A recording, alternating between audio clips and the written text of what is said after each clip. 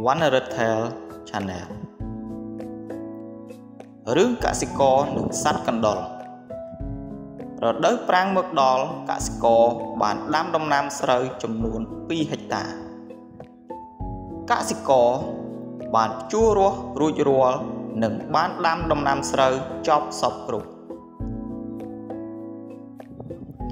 ពេលថែទាំស្រូវបានលូតលាស់ល្អ បែកគុំធំធំជាទីពេញចិត្តរបស់កសិករថ្ងៃមួយមានសត្វកណ្ដុរមួយវងបានស៊ីស្រូវរបស់កសិករខ្ទេចខ្ទីអស់យ៉ាងច្រើនកសិករបានខឹងជាមួយសត្វកណ្ដុរនិងរកវិធីកម្ចាត់សត្វកណ្ដុរចោលពេលល្ងាច កសិករបានទៅទិញថ្នាំសម្រាប់កម្ចាត់សត្វកណ្ដុរ